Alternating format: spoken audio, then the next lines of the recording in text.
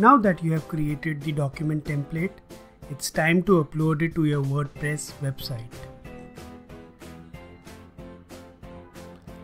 To do so, log into your WordPress admin and click on document automation on the left hand side. Select choose file and press upload.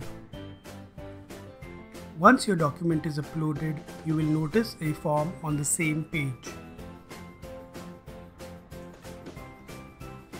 This form is created using the text box information from your document templates. For example, the beneficiary text box field in this document template has a corresponding form field over here. To create a document, let us fill the form with the relevant details.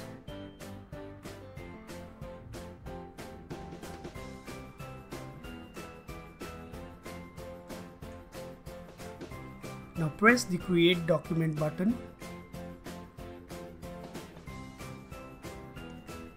You will notice a file gets downloaded after we do this. This is the final generated document.